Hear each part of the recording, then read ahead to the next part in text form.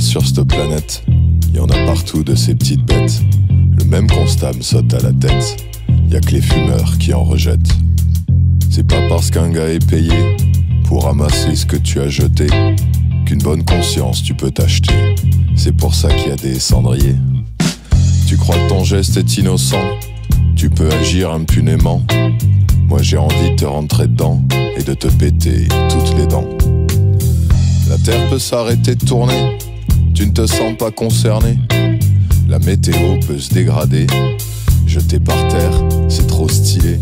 Mais sale connard, je vais te fracasser, te mettre dans le fion tous tes papiers, te faire bouffer tous tes mégots, que tu balances dans le caniveau